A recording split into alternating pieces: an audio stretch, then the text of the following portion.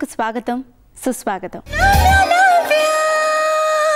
మనం మొక్కలను పెంచేటప్పుడు నార్త్ వెస్ట్ ఈస్ట్ సౌత్ ఇలా ఫేజ్లను చూసుకొని దానికి అనుగుణంగా మనం మొక్కలను పెంచుకోవాలి. ఎందుకంటే ఒక్కొక్క ఫేజ్ని బట్టి సన్లైట్ ఎక్కువగానో తక్కువగానో ఉంటుంది. అంటే ఆ మొక్కల టెక్స్చర్ని అనుగుణంగా సన్లైట్ ఎక్కడైతే బాగుంటుంది ఎక్కడైతే తక్కువగా ఉంటుంది ఇవన్నీ ఆలోచించుకొని మనం మొక్కలను పెంచుకోవాలి. అప్పుడు గార్డెన్కే కొత్త శోభ వచ్చినట్టుగా ఉంటుంది. విడాకుల కేసు కోర్టులో నడుస్తున్నప్పుడు భాగస్వామిలో ఎవరో ఒకరు కోర్టుకి గైర్హాజరు కావడం ద్వారా కేసు వాయిదాల మీద వాయిదాలు పడుతూ ఉంటుంది. భాగస్వామిని వేధించడానికి ఇవాళ రేపు ఇదొక మార్గంలో ఎంచుకుంటున్నారు. దీనివల్ల రెండో వ్యక్తి ఎంతో నష్టపోవాల్సి వస్తుంది. అయితే కేంద్ర కేబినెట్ తాజాగా హిందూ వివాహ చట్టంలో ఈ ప్రాబ్లంకి సంబంధించి సవరణని వివరించడం జరిగింది.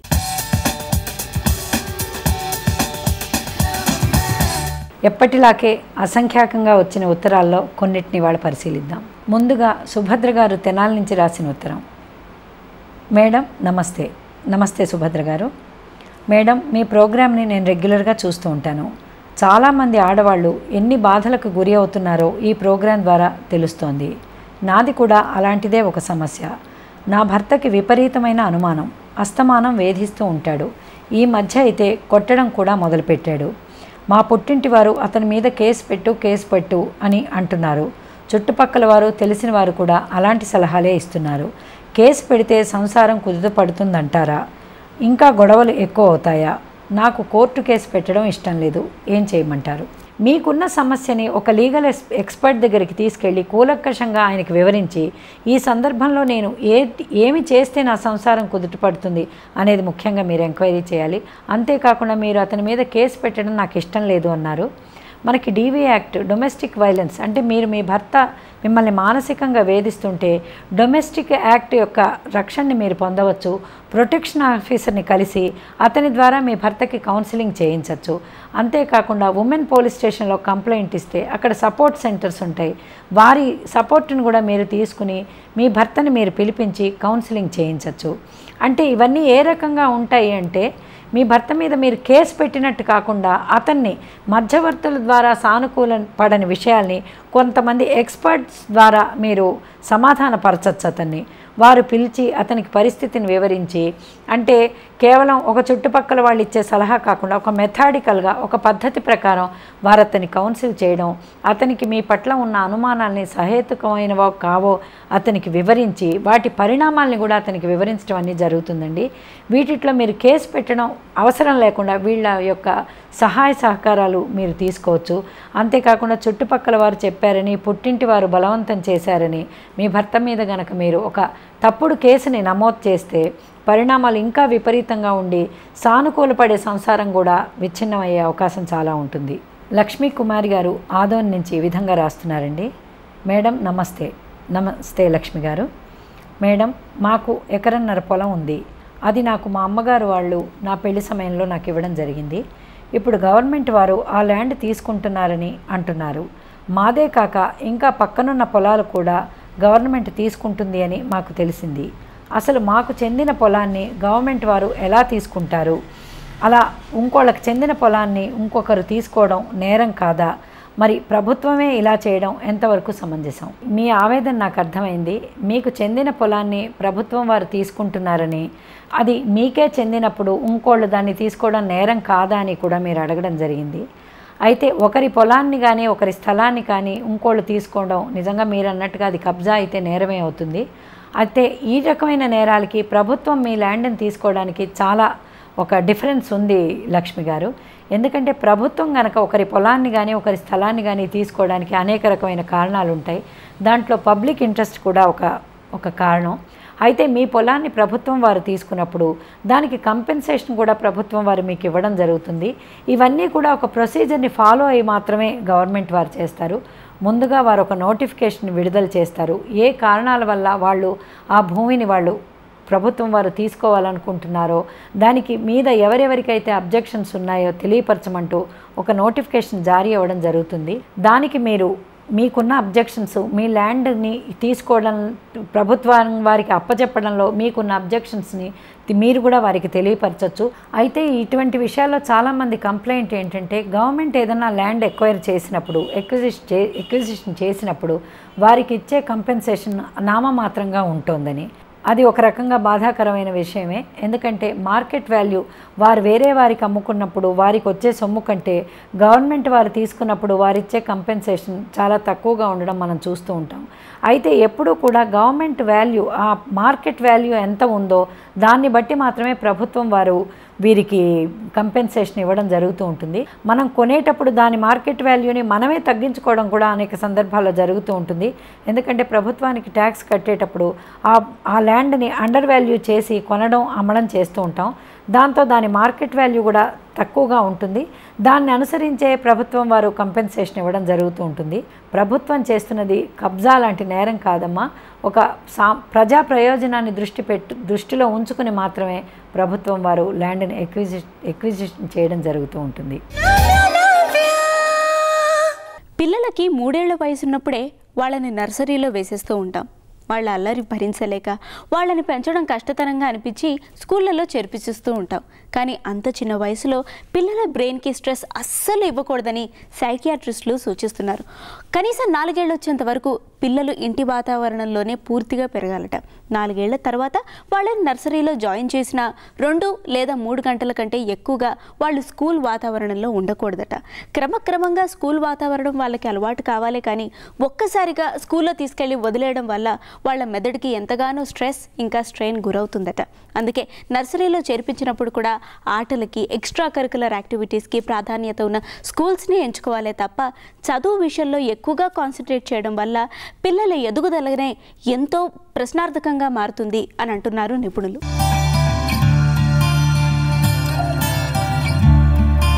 పిల్లలు స్కూల్కి వెళ్ళాలి అనగానే రకరకాల వస్తువులు షాపింగ్ స్టార్ట్ అయిపోతుంది.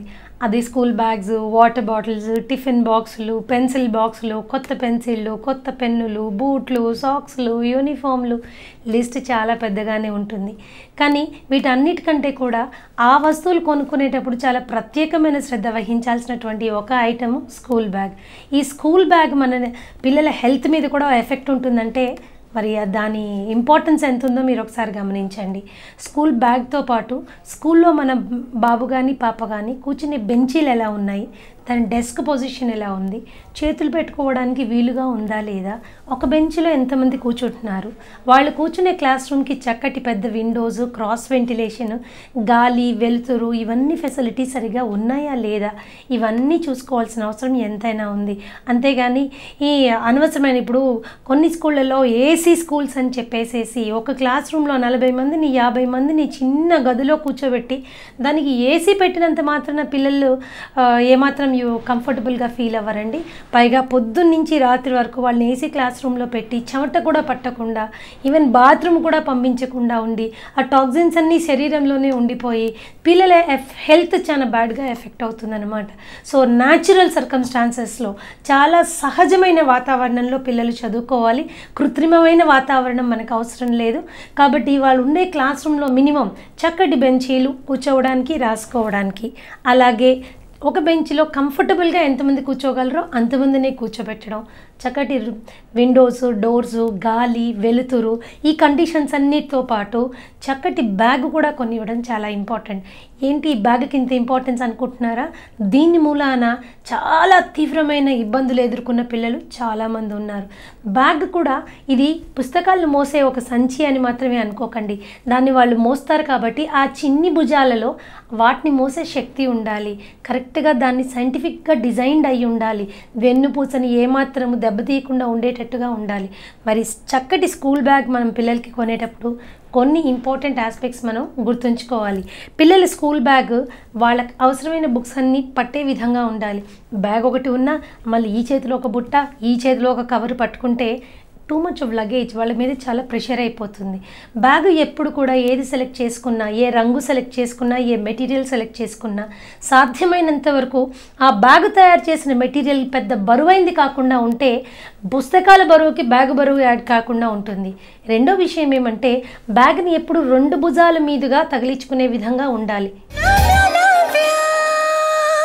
ఎక్కువగా వ్యాయామాలు చేయడం వర్కౌట్లు ఎక్సర్సైజులు ఇవన్నీ చేయడం వల్ల మనకి లెగ్ క్రాంప్స్ అనేవి వస్తాయి. అంటే కాలు దగ్గర ఒక భాగం ఇలా పట్టేసినట్టు అయిపోతుంది అనమాట ఇది సాధారణమైన సమస్య. ఈ లెగ్ క్రాంప్స్కి ఇంకొక రీజన్ ఏంటంటే ఒకటే పొజిషన్లో ఉండి ఎక్సర్సైజెస్ చేయడం అండ్ రాంగ్ టైమింగ్స్లో ఎక్సర్సైజెస్ చేయడం మన ఫుడ్ హ్యాబిట్స్ కూడా సరిగ్గా లేకపోవడం కొన్ని రకాల మందులు తీసుకోవడం వల్ల డీహైడ్రేషన్కి గురి కావడం. దీనికి ఏమాత్రం భయపడకుండా వెంటనే డాక్టర్ని సంప్రదించి సలహా తీసుకుంటే సరిపోతుంది.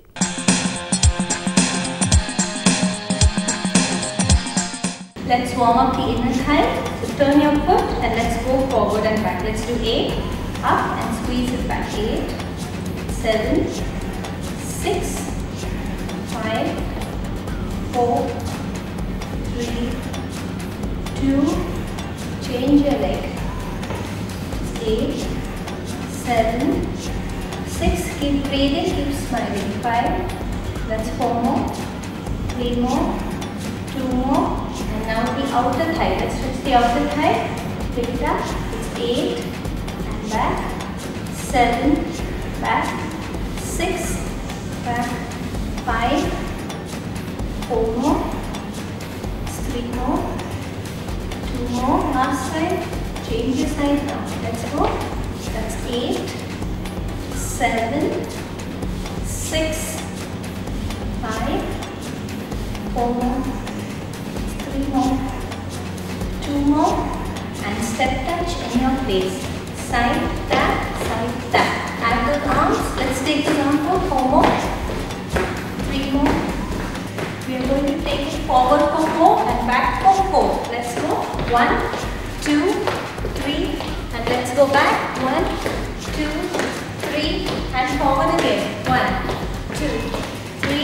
Now next step, on your left leg, Step touch forward, left leg. So it's one, two, three, and come back. The stronger your arms are, the better for you. One last time.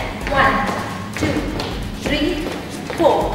One, two, knee, step, knee, step, knee, back, and tap. Step, knee. Let's speed it up for four. It's four, punch, back, back. Three, punch, back. Start going a little lower. Start going down, little lower. Four more, down and tap. Three more, down and tap. Two more, down and tap. And a great twine. Next time, hook. One, two, three, come back. One, two, three, and again. One, two, three, and four more to go. Four more, three more, two more, and twist in your place now. It's eight, seven, six, five, four, three, knee, left leg. Step, knee, back, tap. Step, knee, speed it up now for four, back, three, back, two, ready to take it down. And let's take it lower now. Slowly with practice, you can go down, and three and down, two and down. Last one, before the break, point, Let's go. One, two, three, and back. One, two, get. And four more to go. Four more. Three more. Two more. And jack in your place now. Go. It's eight, seven, six, five, four, three. Great one. Right. Twist over here. Come back home. Twist again. Change your side. Let's go. Great wide twist. Five, six, seven, and back. And twist. Great wide and two jacks. Great wide. jump and back. Great wide. Change your side. Great wide. Two jacks. From the step touch. Are you ready? Step touch forward. Right. One, two, three, and back. One, two. On your left leg. One, two, three, and back. Step knee coming up. Only right leg. Go for four. Four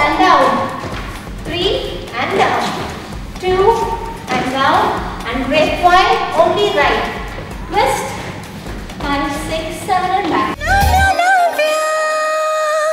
ఎండలో ఎక్కువగా తిరగడం face సరిగ్గా wash చేసుకోకపోవడం సరి అయిన ఆహారం తీసుకోకపోవడం వీటన్నీ కలిసి చర్మాన్ని జిడ్డుగా తయారు చేస్తాయి కళావిహీనంగా తయారు చేస్తాయి ఇలాంటప్పుడు తప్పకుండా సోప్ ఫ్రీ లేదా పీహెచ్ బ్యాలెన్స్డ్ క్లెన్సర్లు వాడాలి అలాగే క్రీమ్ క్లెన్సర్లకి బదులుగా ఫోమ్ లేదా జెల్ క్లెన్సర్లు వాడాలి ఎందుకంటే ఫేస్ పూర్తిగా పాడవకముందే మనం తీసుకోవాల్సిన ప్రిలిమినరీ కేర్ మనం తీసుకోవడం మంచిది.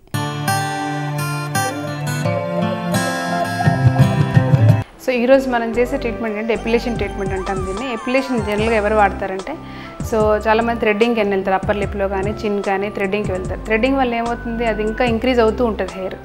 సో లేజర్ ఎఫర్ట్ చేయడానికి చాలా కష్టం ఉంటుంది. ఎలక్ట్రాలసిస్ ఎఫర్ట్ చేయాలన్నా కూడా కష్టం. సో దాని బదులు సబ్స్టిట్యూట్ అయ్యారంటే కొత్తగా ఎపిలేషన్ ఒక ట్రీట్మెంట్ వచ్చింది.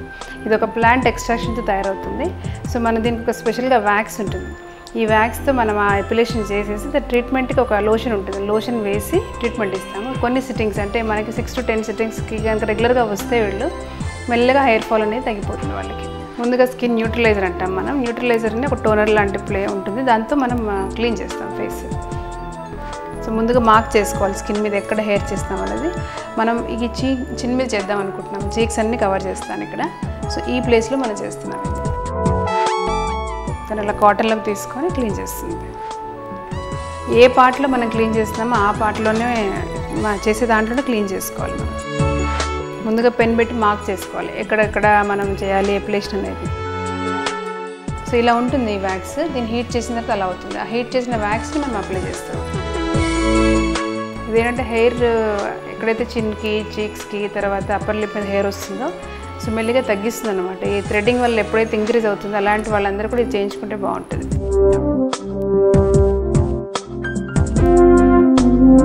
సో దానికి మీరు గమనిస్తే ఇక్కడ నుంచి హెయిర్ ఉంది కాబట్టి మనం ఇంతవరకు తీస్తున్నాం.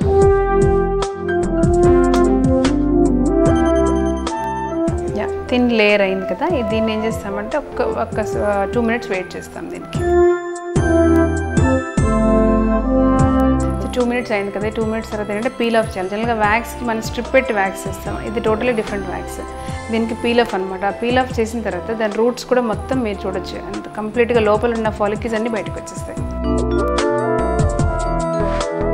జనరల్గా మిగతా వ్యాక్స్ ఏంటంటే స్ట్రిప్ వ్యాక్స్ లాగా స్ట్రిప్స్ పెట్టి చేస్తాం. సో ఈ వ్యాక్స్ ఏంటంటే మీకు ఇటలీ నుంచి వస్తుంది వ్యాక్స్ స్పెషల్లీ ఎపిలేషన్ అంటారు ట్రీట్మెంట్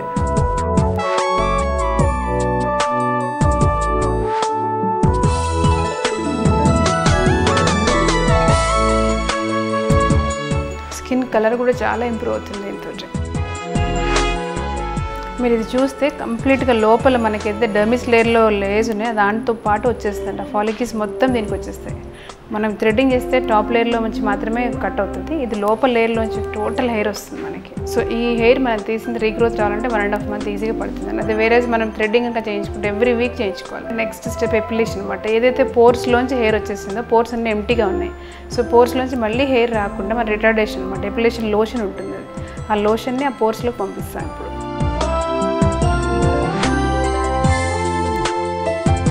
ఈ లోషన్ మనం అప్లై చేసిన తర్వాత పోర్స్లోకి పంపడానికి ఒక మెషిన్ కావాలి. సో అల్ట్రాసౌండ్ మెషిన్ అని ఒకటి ఉంటుంది. మనకి ఎలా అయితే స్కాన్స్కి మనం అల్ట్రాసౌండ్ వాడతామో ఇది స్కిన్ క్యాన్స్ అల్ట్రాసౌండ్ అనమాట సో స్కిన్లో మనం ఏదైనా ఒక ప్రోడక్ట్ పంపాలి అంటే ఈ అల్ట్రాసౌండ్ మెషిన్ని వాడతాం. సో మనం ఇప్పుడు పెట్టిన యాంబ్యూల్ని లోపలికి పంపిస్తుంది. సో ఇది అల్ట్రాసౌండ్ అండి. ఇది యాక్చువల్గా మనం ఏదైనా ప్రోడక్ట్ స్కిన్ కేర్ అంటే డర్మిస్ లేయర్లో చేసే ట్రీట్మెంట్స్కి ఎప్పుడు కూడా అల్ట్రాసౌండ్ మెషిన్ ఉండాలి. సో ఈ అల్ట్రాసౌండ్ వల్ల వేవ్స్ పాస్ అవుతాయి అనమాట సో పోర్స్ ఏదైతే మనం ఖాళీగా ఉంచామో హెయిర్ తీసేసి ఆ పోర్స్లోకి మనం పంపించే సిరమ్స్ అన్ని లోపలికి వెళ్ళిపోతాయి అనమాట సో అక్కడ నుంచి మనకంటే హెయిర్ రిడక్షన్ స్టార్ట్ అవుతుంది. సో నెక్స్ట్ టైం వచ్చే హెయిర్ గ్రోత్ ఇంకా చాలా థిన్ గ్రోత్ వస్తుంది దానికి. ఇలా కొన్ని సిట్టింగ్స్ కనుక చేసుకుంటే దానికి ఇంకా అసలు ఎప్పటికీ హెయిర్ రాకుండా కంట్రోల్ చేయగలుగుతాం. సో అన్నిటికంటే ఎప్లేషన్ ట్రీట్మెంట్లో ఈ స్టెప్ చాలా ఇంపార్టెంట్ వ్యాక్స్ చేయడం వెరీ ఈజీ బట్ ఈ ప్రోడక్ట్ని లోపలికి పంపడం అనేది వెరీ మచ్ ఇంపార్టెంట్ నెక్స్ట్ మనం ఏం చేస్తామంటే స్కిన్లో పిహెచ్ వాల్యూ ఇంక్రీజ్ అవుతుంది ఇప్పుడు. మనం దాన్ని బ్యాలెన్స్ చేయాలి. సో దానికి ఒక మాయిస్ట్ క్రీమ్ ఉంటుంది. దాన్ని బ్యాలెన్స్ చేస్తాం దాంతో. సో చాలా కొంచెం ఒక పించ్ తీసుకొని అప్లై చేస్తాం. సో ఇది కూడా డైరెక్ట్గా ఏవైతే డ్రై అయిన ఎండ్స్ ఉన్నాయో మన పోర్స్ వాటన్నిటిలోకి వెళ్ళి వర్క్ చేస్తుంది. సో మసాజ్ కూడా చాలా లైట్ మసాజ్ చేస్తాం. సో అది కూలింగ్ ఏజెంట్గా పనిచేస్తుంది అనమాట ఇది. సో ఇది సూత్నింగ్ మీరు స్కిన్ చూస్తే మనం చేసిన దగ్గర స్కిన్ చాలా సాఫ్ట్ ఉంటుంది పక్క స్కిన్ కంటే కూడా. సో ఇది ఫైవ్ మినిట్స్ మనం మసాజ్ చేస్తున్నాం కదా ఇది ఫైవ్ మినిట్స్ తర్వాత ట్రీట్మెంట్ అయిపోయింది. కానీ తను బయటికి వెళ్తారు కాబట్టి మనం ఇంత ట్రీట్మెంట్ ఇచ్చిన తర్వాత ఎండ పడకుండా మనం సన్ షేడ్ ఒకటి వేయాలి. దానికి సన్ బ్లాక్స్ అని దొరుకుతాయి దాంతో స్ప్రే చేస్తాం. సో స్ప్రే ఉంటుంది స్ప్రే బోత్ సైడ్స్ ఎక్కడైతే ట్రీట్మెంట్ చేస్తామో దాని మీద స్ప్రే చేస్తాం. ఇప్పుడు దీని ఎండలోకి వెళ్ళిన తర్వాత కూడా తనకి ఎండ పడి కమిలిపోవడం అలాంటివి జరగవు అనమాట సో మనం ఇప్పుడు తనకి బ్రహ్మ షేడ్ వేసిన తర్వాత ఒక టూ మినిట్స్ రిలాక్స్ చేస్తామండి. ఎందుకంటే బయటికి ఎండలోకి వెళ్తున్నారు కాబట్టి ఒక టూ మినిట్స్ తర్వాత దాన్ని బయటికి పంపిస్తాం. దీని కనుక రెగ్యులర్గా ఇలా చేయించుకుంటూ ఉంటే తనకి హెయిర్ రిడక్షన్ కంప్లీట్గా హెయిర్ రిడక్షన్ వచ్చేస్తుంది. బొప్పాయికాయని చిన్న చిన్న ముక్కలుగా తరిగి ఎండబెట్టి దాన్ని పౌడర్గా చేసుకొని అర టీ స్పూన్ తేనెలో కలిపి రోజు తీసుకోవడం వల్ల మలబద్ధకం అజీర్ణం ఆకలి లేకపోవడం ఇలాంటి ఉదర సంబంధ వ్యాధులన్నీ దూరం అయిపోతాయి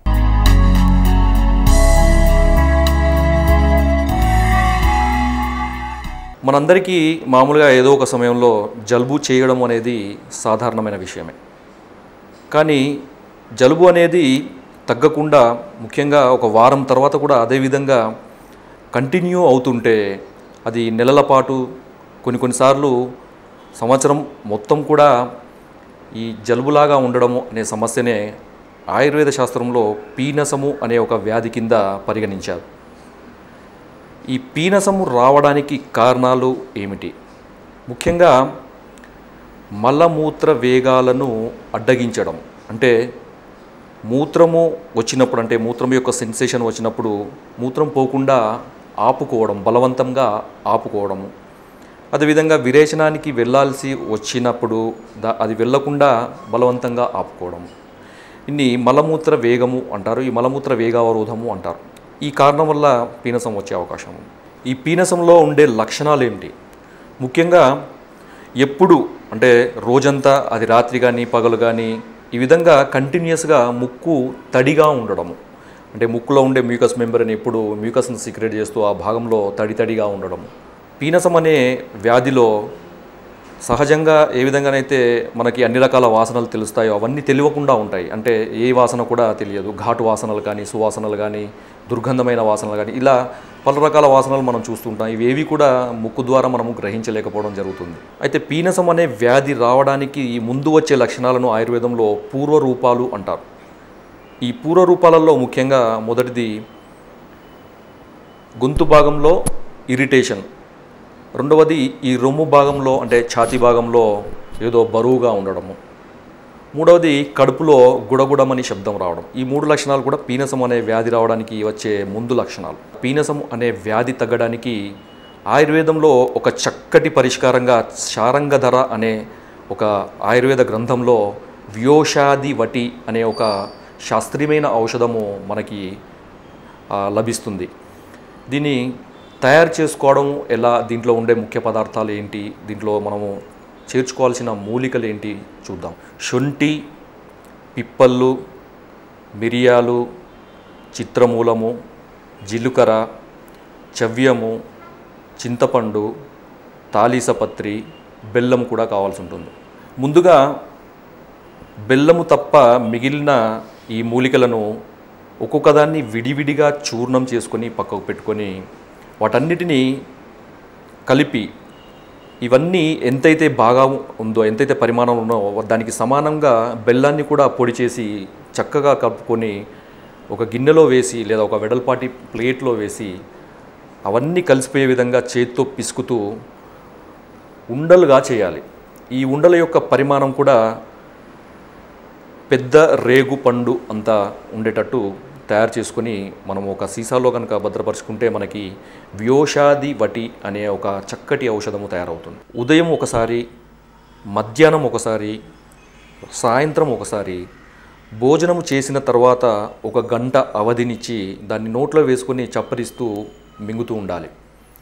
ఈ విధంగా మూడు నుంచి నాలుగు వారాల పాటు కనుక ఈ వ్యోషాది వటిని క్రమం తప్పకుండా తింటూ ఉంటే దీర్ఘకాలంగా పీడింపబడే బాధ పెట్టే పీనస వ్యాధి లేదా క్రానిక్ అలర్జిక్ రైనైటిస్ అనే సమస్య సమూలంగా నాశనమవుతుంది. అదేవిధంగా శరీరంలో పేరుకొని పోయిన ఆమదోషము అంటే జీర్ణము కాని ఆహార రసం కూడా చక్కగా పచనమయ్యి అది పోషకాలుగా మారి శరీరాన్ని పరిపుష్టంగా వ్యాధి నిరోధక శక్తి పెరిగి భవిష్యత్తులో ఈ అలర్జిక్ రైనైటిస్ అనే సమస్య రాకుండా శరీరాన్ని కాపాడుతుంది. గతానికి భవిష్యత్తుకి వారధి వర్తమానం. ఆశ అనే వంతెన మాత్రమే అటు గతాన్ని ఇటు భవిష్యత్తుని కనెక్ట్ చేస్తూ ఉంటుంది. అంటే వర్తమానం ద్వారా. ఆశావాదిగా ఉండడం తప్పేమీ కాదు. కానీ మనం దేని గురించి ఆశపడుతున్నాం? అది ఆశ? లేకపోతే అత్యాశ? మన వాస్తవ పరిస్థితులు ఏమిటి ఇవన్నీ కూడా మనం అవగాహనలోకి తీసుకోవాల్సిన విషయాలు. ఎందుకంటే జీవితం అంటే కేవలం మనం మాత్రమే సంతోషంగా ఉండడం కాదుగా? మనం సంతోషంగా ఉండాలి. మన చుట్టూ ఉన్న వాళ్ళందరూ కూడా ఆనందంగా ఉండాలి. వాళ్ళని మనమే ఆనందంగా ఉంచగలగాలి. నభ్య మీద మీ సలహాల్ని సూచనల్ని అభిప్రాయాల్ని మాకు తప్పకుండా రాసి పంపించండి. మా address Navya care of director Doordarshan కేంద్రం రామంతపూర్ హైదరాబాద్ ఫైవ్ ల్యాక్స్ థర్టీన్ మా email ID Navya dot Doordarshan at Gmail dot com ఉన్నమలుంటాయి అమావసలుంటాయి చంద్రునికి ఎప్పుడు కళలుంటాయి బ్రతుకు బాధ్యతల పడలికలోన అప్పుడప్పుడు